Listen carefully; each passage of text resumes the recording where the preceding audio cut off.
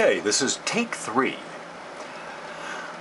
Hello, everyone. Thank you for being here. My name is Verde Arbusto, and this is the Schumann Resonance Harmonics group uh, on YouTube and on Facebook as well. Um, it is today is uh, Monday, the 27th, and I am here making a basic introduction on the Schumann Resonances Harmonics report. This is just a simple instructional video to introduce a person to the parts of the, uh, the Schumann reports that perhaps you may not be that familiar with. All right. So uh, let me get into it right now. Um, so what we are looking at here, this whole part right here, is this is the spectrograph, what everyone calls a Schumann. This is the amplitude dependency. This is the quality dependency, and this is the frequency dependency. All right.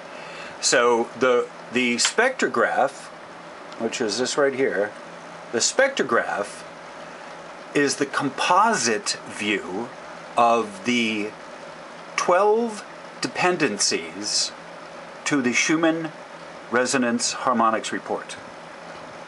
So there are the three main dependencies of amplitude, of quality, and of frequency.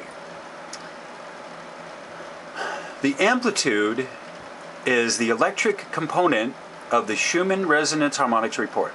This is measured in pico electron volts, and a pico uh, uh, the, the suffix pico is 15 zeros, or it's um, 0.1 with 15 zeros after it. Um, so that's a pretty tiny number. Um, this dependency is measured in the, uh, the vertical. It is the uprights of the chart.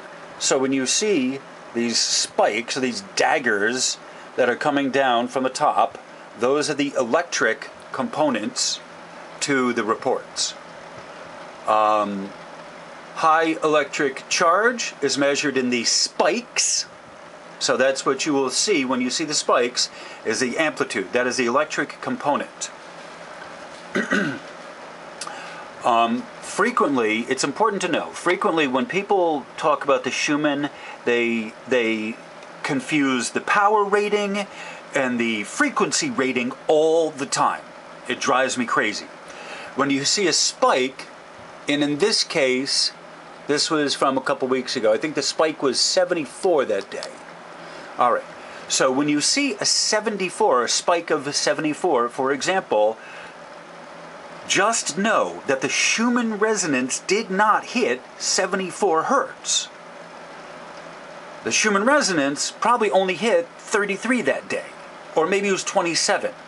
The Schumann resonance, I assure you, has never hit 74 hertz frequency. So that's what those spikes are, is it's the amplitude dependency. All right. So you see there's three colors of this. There's the white, you can just barely see it.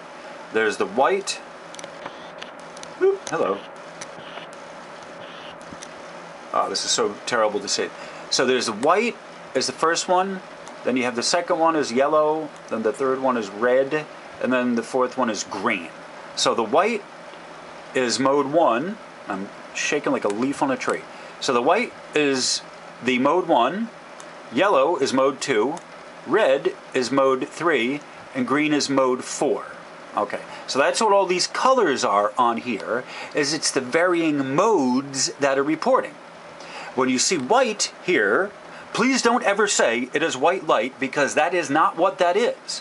That is mode 1 hitting a white mode peak. All right. So the next one up is the quality dependency. Okay, and the same thing here. There are four color modes, and these represent the different bandwidths that are reporting. Okay, so the quality is the magnetic component of the Schumann resonance harmonics. it is measured on the parallel to the ground. So it's measured 90 degrees. How do I say this? It's measured 90 degrees from the upright. It runs parallel to the surface of the ground. There's two induction coils that give you the uh, the magnetic values, which are reported in the quality. So there's one magnet that's aligned east to west at 90 degrees uh, perpendicular to that. There's another induction coil that is measuring the west east west uh, axis. Um, uh, the quality is measures the current, which is magnetism, is magnetically heavy waves are reported as bands on the Schumann reports. So when you see these bands that run here, this is the free, uh, this this here is the harmonic, the frequency harmonic of 7.8. The next one here, this is at about 14. The next band, this is at uh, 1421 or 22, I guess. The next one after that is 27. Then the next one here, this is 33. And you see how high we were up in the in the, the resonances in the the uh, this teal green. So that's in the 33. That's almost in these these peaks are again their amplitude. These are not properly the Schumann resonances. The amplitude is not properly the Schumann resonance, even though it's in there, and the reporting spectrograph uh, plots it in there with the rest of it. But the resonances are these magnetic lines that go the frequency. The frequency ratings are over here on this side. Okay. All right, so the next one up, all right, so that's uh, quality, um, and there's uh, four modes to the quality. There's again, the white mode is one, the yellow mode is two, the red mode is three, the green mode is four. Um. Uh, the frequency is the last one. The frequency of the waves themselves, this is the most baffling to people. Frequency, when you get it in these dependencies, this is the unit of measure of the volume of it. These numbers here are the wavelengths measured in kilometers, which is within the time frame or the framework of UTC, the time code of UTC. The frequency is the peak to peak quantity of both the electric and the magnetic waves. This is really important. It, it is supposed to be the frequency of the amplitude and the quality together, but I am not quite sure that it's actually doing that. When you look at it, it appears that the frequency is more aligned with the quality of it. All right, but this is, I'll get into this more later. So, frequency is essentially the volume over a distance. All right, so this number here, when we look at it, me get a close-up of this here. Ah, hello! Alright, so I want to get a close-up of this here. Wrong way.